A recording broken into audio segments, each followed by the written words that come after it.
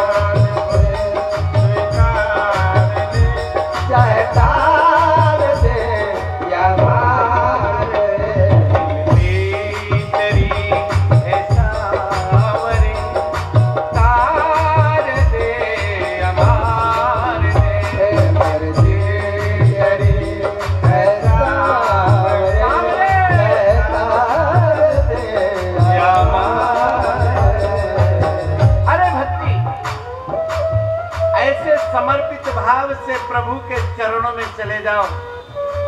क्योंकि उनका भाव ही है, शरणागत को राहिए तीन पर नहीं। उनके द्वार पर गया, कभी वापस नहीं आता। देखें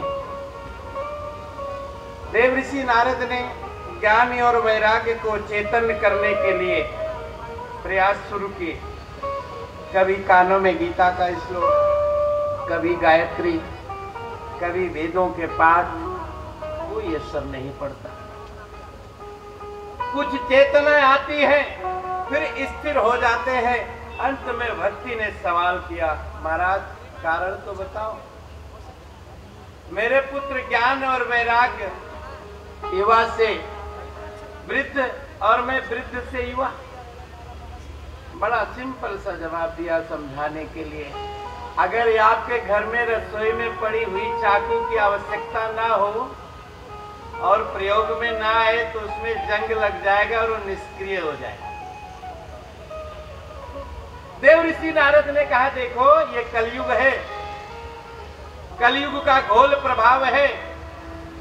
यहाँ पर ज्ञान और वैराग्य के लोग ग्राहक नहीं हैं।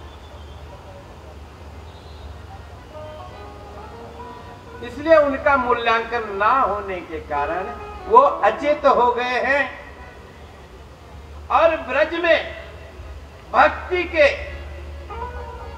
ग्राहक बहुत हैं। यहाँ की रेती में भक्ति का वास है, यहाँ के कण कण में वास है। इसलिए आप वृद्ध से युवा हो गए। अनेक प्रयास कर रहे हैं, रिद्धि सिद्धियाँ आ गई हैं, सारे नक्षत्र ग्रह तिथि वार सारे संत महंत प्रयत्न कर रहे हैं महाराज।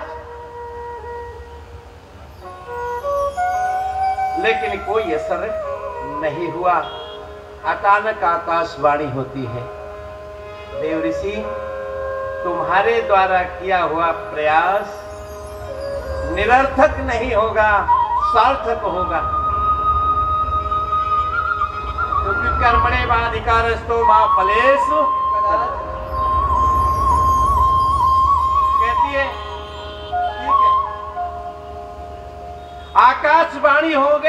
लेकिन संत की भाषा और देव की भाषा दोनों गूढ़ होती है। देव ऋषि पीड़ित तो हो रहे हैं कि मैं भक्ति का कोई भाव नहीं कर पाया, मैं भक्ति का कोई सहयोग नहीं कर पाया। आकाशवाणी ने तो सिर्फ़ इतना ही कहा है कि देव ऋषि, तुम्हारा प्रयास सार्थक होगा। देव ऋषि नारद के मन में खिन्नता है। कि किस हिसाब से मैं भक्ति का दुख हरूं। मेरे भाई, अगर आप कभी एक कल्पना करोगे ना कि जीवन में कोई मेरे काम आए या ना आए, जीवन में कोई मेरे काम आए ना आए पर परमात्मा, मुझे इस लायक ज़रूर बना देना कि मैं किसी दुखी के आँसू साफ़ कर सकूँ तो भवपार होने से कोई रोक नहीं सकता। जिस दिन ये भाव आ जाए कि खुश रहे वो जो हमें जानते हैं। खुश रहे वो जो हमें जानते हैं। अरे खुश हमसे ज़्यादा वो रहे जो हमें जानते नहीं। रूठो। रूठना आपका अधिकार है। लेकिन उनसे जो आपसे रूठा करते हैं। लेकिन उससे क्यों नाराज़ होते हो? जो बदले में कुछ माँगता है नहीं, सब उधार देता है। ब्रह्म मुहूर्त में उठते हो, तब प्रभु आपके पास खड़ा होता है, सोचता है, चंद पल हरि भजन करेगा। आपके पीछे पीछे चलता है। अब करेगा अब करेगा। लेकिन गृह कारण, नाना जंजाला, शाम तक आपको खुद से बात करने का समय नहीं इसलिए एक पल के लिए ही सही। सारी चीज़ों से विमुख होकर हरि के सम्मुख हो जाया करो। बड़ा ही आनंद है। हरि के सम्मुख आना ही और कैसा होता है भाव? हमारी बातों पर थोड़ा ध्यान देंगे कि सामने मेरे जिस दिन वो आ जाएँगे। कुछ और नहीं हाँ वो।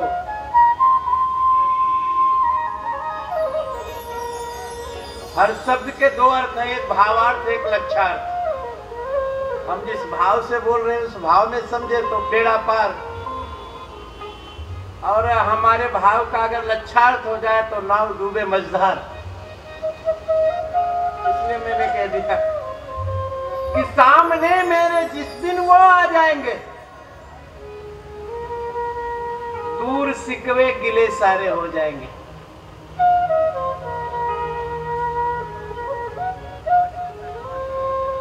सामने मेरे जिस दिन वो आ जाएँगे दूर सिकवे गिले सारे हो जाएँगे। बात करने लगेंगी ये आँखें वहाँ। बात करने लगेंगी ये आँखें वहाँ। तेरे चंचल जुबा कुछ न कह पाएँगे। तेरे चंचल जवान घर से निकलो, आज बिहारी जी से खूब झगड़ा करेंगे। बिहारी आज मेरे बच्चे की शादी नहीं हो रही है। खूब प्रयास करो, आज गुरुदेव से बहुत लड़ाई करेंगे।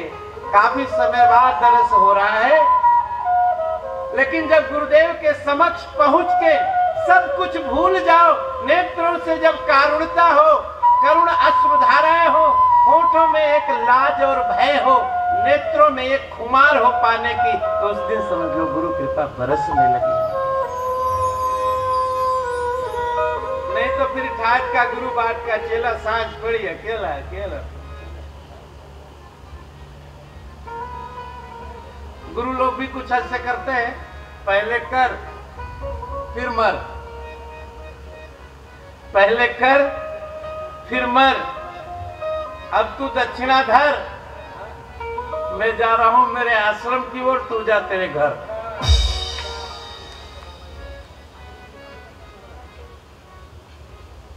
जबकि ये चीज़ें पैसे वाली नहीं हुई। आपके समक्ष पाँच करोड़ रुपया रख दो लाख रात को सिर में दर्द हो, उससे बोलो जरा तेल लगा दे, लगाएगा क्या? हाँ?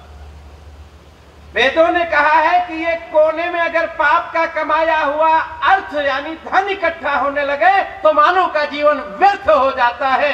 इकट्ठा करने का काम परमार्थ का है। परमार्थ इकट्ठा करो तो परम अर्थ की प्राप्ति।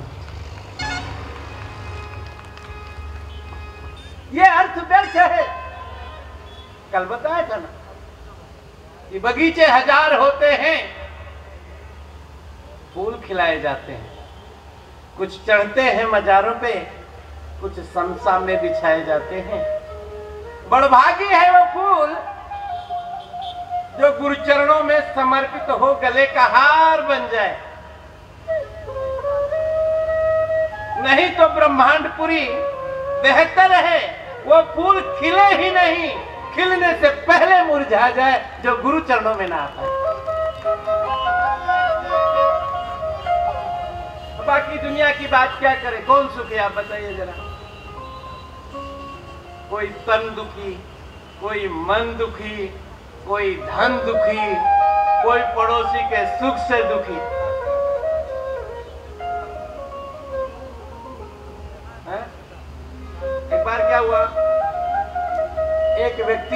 सुंदर सी तपस्या की। ध्यान लगा ध्यान मुद्रा बड़े भगवान प्रसन्न हो गए। भगवान ने कहा, मांग तुझे क्या चाहिए? बोले, मैं मनवांचित इच्छाओं वाली चीज़ चाहता हूँ। ठीक है। कहीं, ये जो मड़ी है ना, ये आप अपने पास रखो। इससे जब आप लेकर के चिंतन करोगे ना तो आपको जो मांगोगे वो मिल जाएगा। तालियाँ बजा दी, वाह, मिल जाएगा।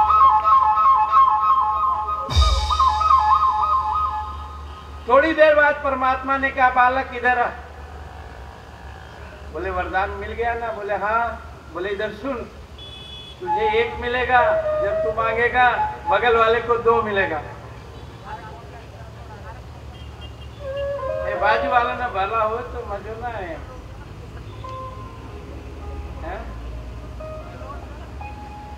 कुत्ते को घोड़े की गति और आदमी को प्रगति नहीं अच्छी लगती। अब ले तो लिया। गुरु की चीज़ वापस तो होती नहीं। घर गया। जिस काम से पड़ोसी का भला हो मेरे किसी काम की नहीं है ले रख। माताओं का आदत बहुत प्यारा है, संभाल के रखने का। रख लिया। एक दिन बिचारी की इच्छा हुई कि काश मेरे बारह व्यंजन हो। आजकल नरेश जी दिखावे के लिए लोग बहुत जीते। एक मास्टर जी आए हमारे पास, बालाजी में कथा चल रही थी। उन्होंने कहा, महाराज, सुन रहे हो? ध्यान देना, उन्होंने कहा, महाराज, मेरा ट्रांसफ़र करवा दो इस स्कूल में से, आपका जानकार है, जिसका वो ऑर्गेनाइजेशन है। मैंने बोला, कारण? बोले, मेरी पत्नी है ना, उसके कपाट में जितनी साड़ियाँ थी सब एक बार पड़ चुकी, पहन चुकी है, इसलिए अब कहीं और करवाना है। बोले, इसके लिए? बोले हाँ नहीं तो लोग ये बोलेंगे, ये तो रोज वही पहनती है, वही दिखावे की ज़िंदगी। हाथ में लिया ध्यान दे और उसने भाव कर लिया, भगवान छप्पन भोग चाहिए, सारी चीज़ें मिल गई।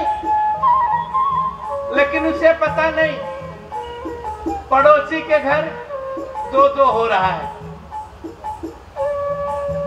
आ गया वो बंदा। अरे क्या कर रही? बोले, कुछ नहीं, ये सब बदल कैसे गया? बोले, ये वस्तु हाथ में ली। मन में विचार किया, बदल गए सत्यानाश हो जाए सारा राजे होंगे तपस्या करी, न તપસ્યા કરીને પથારી ફેરી નાખીએ તમે હવે શું કરવું છે ઓલા ભાઈ આપણા એક કપ ચા નહીં દેતો હવે बे બે માલો નબંધી થઈ गई नहीं, हूँ तो કરવું ये कभी पानी नहीं पिलाता, उसकी दो दो मंजिल की बिल्डिंग बना दी तूने। अरे, भगवान, मैं आपसे ज़्यादा होशियार हूँ। अगर मुझे ये पड़ोसी को तो लाभ मिलेगा तो नुकसान भी ऐसे ही तो होगा। हे भगवान, मेरे दरवाजे पे एक कूप बन जाए। पड़ोसी के तो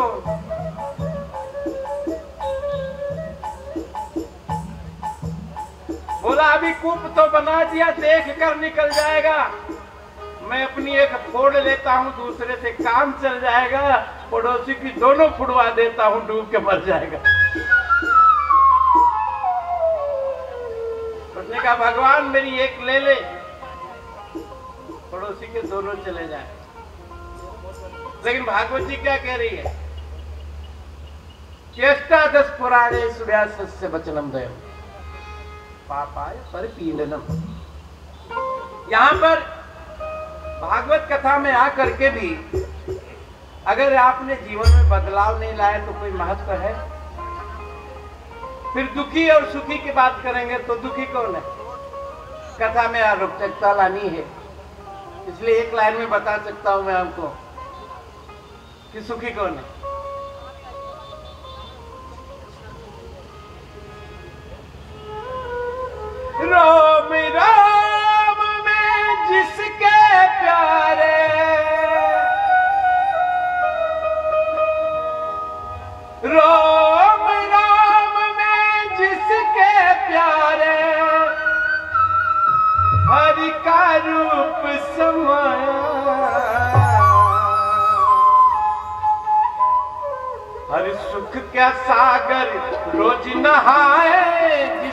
हरि गुण गाया।